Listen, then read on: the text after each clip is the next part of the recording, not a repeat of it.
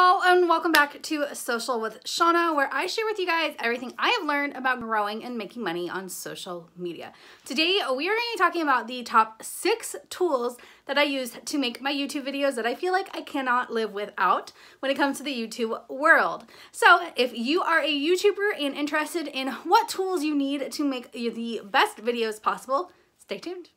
These are gonna be the six tools that I use to create basically every single video that I make, both here on Social with Shawna and over on my main channel, Shawna Rae. So I use these on both channels quite a lot.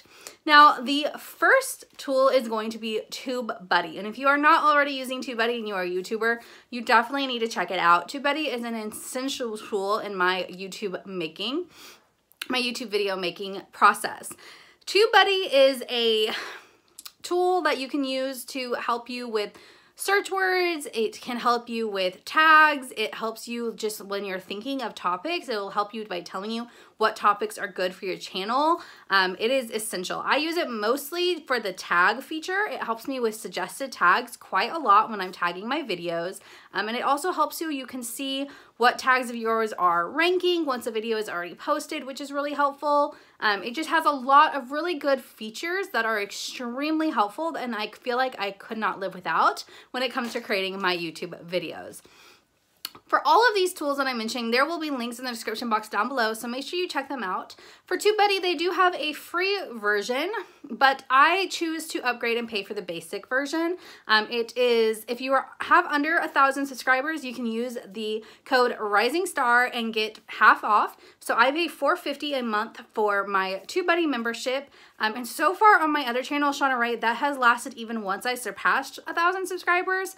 I don't know if that'll change and at some point I'll start getting charged the full $9, but right now I currently only pay $4.50 for my basic TubeBuddy membership, which is pretty sweet. So again, use the code Rising Star when you're signing up for TubeBuddy to get it half off if you're under a thousand subscribers. And I definitely think it is a very essential tool when it comes to trying to rank in SEO searching, in searching um, in search engine optimization, which is SEO in case you didn't know, um, when it comes to ranking on YouTube, when it comes to figuring out what tags to use, what keywords to use, and everything like that. Next up that I use, mostly over on my other channel, I don't use it a whole lot here, but it's Epidemic Sound, which is my which is my music subscription that I use for YouTube. Most YouTubers use Epidemic Sound.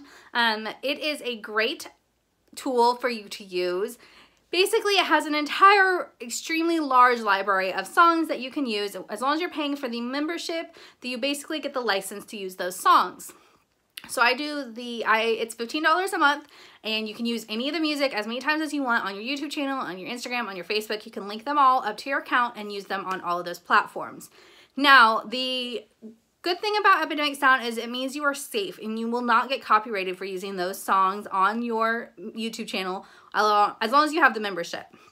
My problem with using non-copyrighted musics, um, I did do that in the beginning of my YouTube career. The problem with that is any non-copyrighted songs that you come across and you decide to use, you are you have no guarantee that the owners will eventually eventually copyright those songs and then you get in trouble. I've had that happen. I've used songs, I've had the videos up and then for months they've been fine and then all of a sudden I get a copyright um, notification and it's because the owners then decided later on down the road to copyright their songs. So Using non-copyrighted music that you find on YouTube or other sites is never a guarantee. That's why I choose to use Epidemic Sound because it is guaranteed that you are able to use those songs and you will not get in trouble for it. So I think it's really worth it.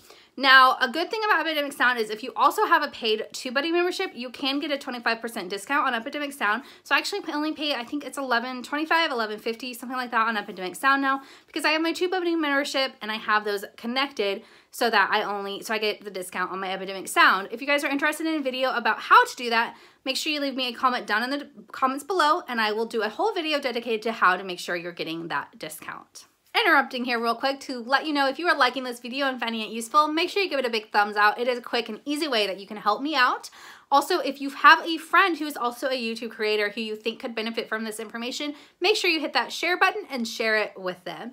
And don't forget to subscribe because I do post new tips and tricks videos every Monday at 8 a.m. Back to the content. So next up, and this probably should have been the first one, is the YouTube Studio app on my phone. So if you upload videos on YouTube, then you are probably aware of YouTube Studio on the computer, which is where you go to do anything that you need to do to edit. But you also have a YouTube Studio app that you can download on your phone. You can do minor changes, like you can change your description, your title, your tags of your videos. You can turn uh, monetization on if you're monetized.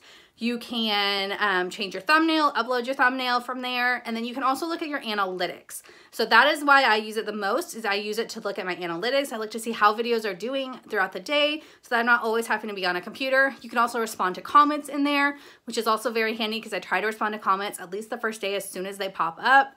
Um, and it's just a really great tool. If you don't have YouTube Studio downloaded and you are a YouTuber, of course, you definitely need to download YouTube Studio. It is essential. It is free. There's no charge for YouTube Studio, so definitely download that so that you can get all the benefits for that. Next up is an app I have on my phone for editing. I, if you did not know, I do all my filming, editing, and uploading from my phone directly my iPhone 8. So for editing, I use iMovie since I do have an iPhone. iMovie is also completely free, which is really great. Um, and it allows me to do all of my editing straight from my phone. And then it also allows me to directly upload from my iMovie onto YouTube, which is awesome. Um, I am planning on doing an entire video on how I edit my videos in the future. So if you're interested in more like about the features of iMovie, I will be doing that in the future.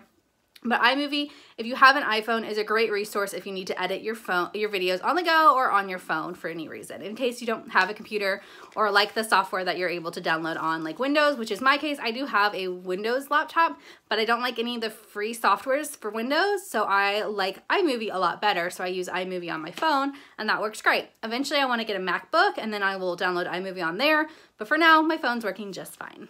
My last two apps are my last two tools that I think are essential to my YouTube video making process are both for my thumbnails. Now my favorite and the one I've been using the longest is Canva. It is completely free. They have an app as well as you can use it online. There are a few more features if you're using it on a computer, but you can use it on your phone as well and it's super simple. You can upload photos directly into Canva so you can upload your thumbnail photo into Canva. You can make adjustments to the picture. So you can adjust things like the brightness and the saturation and all those types of things. You can add text, you can add like emojis and icons and just symbols and things like that. You can add borders, you can do all sorts of things. You can change colors around, you can do a lot. They also have a lot of templates on there. So if you're not sure how, where to go with your thumbnail, what to do about it, where to take the image or whatever, they have different kinds of um, templates, which are really handy. I mentioned this in my media kit, that they have a bunch of media kit templates. They also have YouTube thumbnail templates. They have resume templates. They have Facebook cover templates. They have tons of different kinds of templates on there. So make sure you check Canva out. It's a really, really handy tool. I personally use the free version. They do have a pro version, which has even more features that I may look at upgrading to in the future when I'm making a little bit more income from my, this from my YouTube channel. But for now, Canva is working great. And not only do I use this for my YouTube videos, I also use it on my Instagram post. If I ever have an Instagram post that I want to put some writing on or anything, um, I use Canva for that as well because they have an Instagram template that you can use too. And then when Canva isn't doing quite everything I wanted to do, I do also use PicMonkey.